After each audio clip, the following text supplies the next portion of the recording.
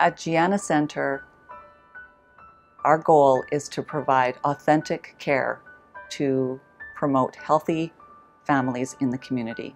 We have basically a three pronged service. So, with education, with peer counseling, and support services.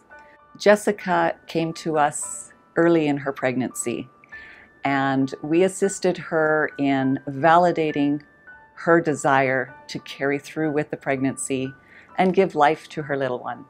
She said, you know, you're you're doing this on your own, so you're going to need help. So she gave me baby clothes and she gave me a playpen and you know, things that I might need and she was just very loving and kind.